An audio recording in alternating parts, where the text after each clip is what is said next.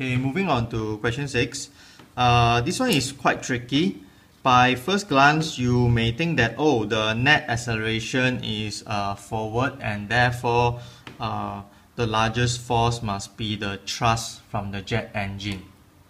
Okay, but uh, the question is actually asking you which is the largest force component.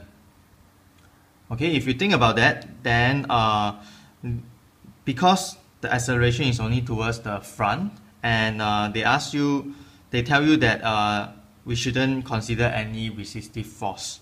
So meaning that actually this uh, thrust from engine, okay, will be the net forward force. So if you apply your Newton's second law here, your F net will be equals to ma, and because in the horizontal direction, your F net is just the thrust force.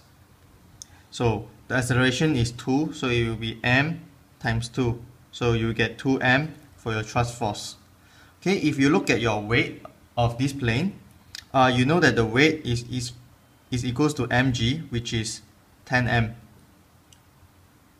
Okay, so just by looking at these two forces, you can see that 10m is definitely bigger than 2m.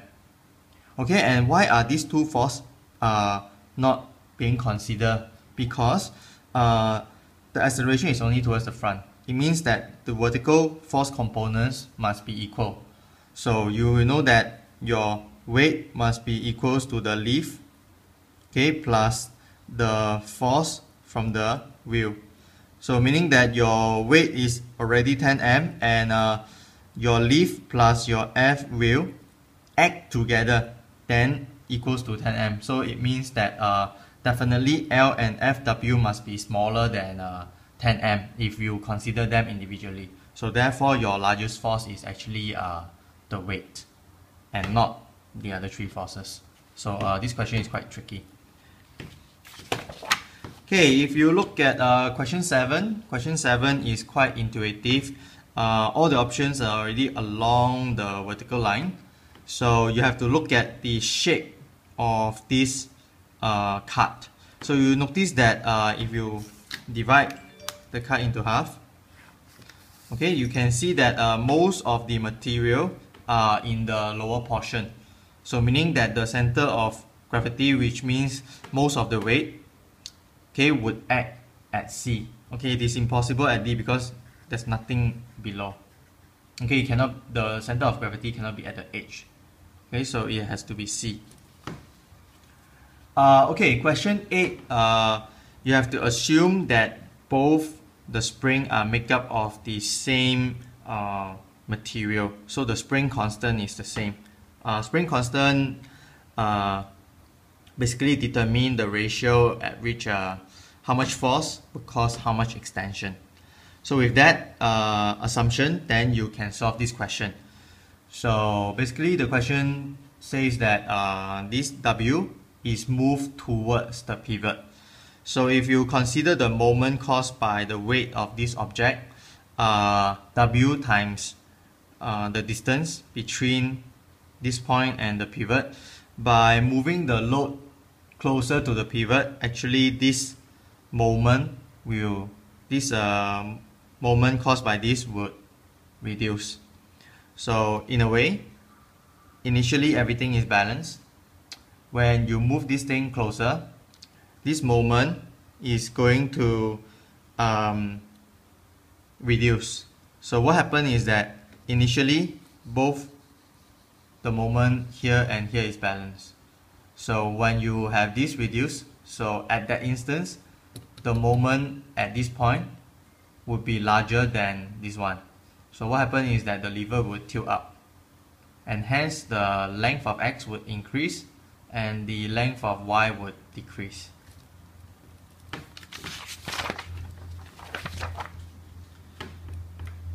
Uh, question 9, uh, it is pretty straightforward except that uh, it actually kind of uh, bring in some mathematics here with the 50%.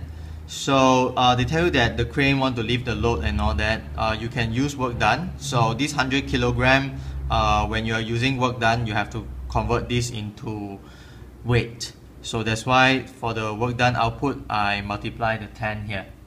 So this uh, output work done is actually from the crane, right? And the crane actually has an efficiency of 50%. Means that this value, the 300, uh, the 30,000 joules, is the output. And the output is only 50% of the input. Because that is what efficiency means. So with that, you just change the output in terms of input. So the output is equals to 50% of the input and the output is 30,000. So once you have this uh, equation set up, you can calculate the input. Okay, question 10. Uh, question 10, you need to understand that when you are calculating work done, the force has to be, the force factor has to be in the same direction as your direction factor. So what happened here is that they give you the mass, which will give you the weight of 50 Newton. But in this case, the object is moving in the horizontal direction. So you see that the force factor and the direction factor is perpendicular. So it means that there is no vertical component for movement in this context. So the movement in the up-down position is actually zero. So when you take 50 Newton, you must multiply by the vertical distance travel, which is zero, you will get zero joules. Okay, so remember when you are calculating, calculating work done, the distance factor that you are going to choose has to be the same direction as your force factor. So in this case, the direction factor, which is the up and down motion, is zero. So therefore, work done is zero.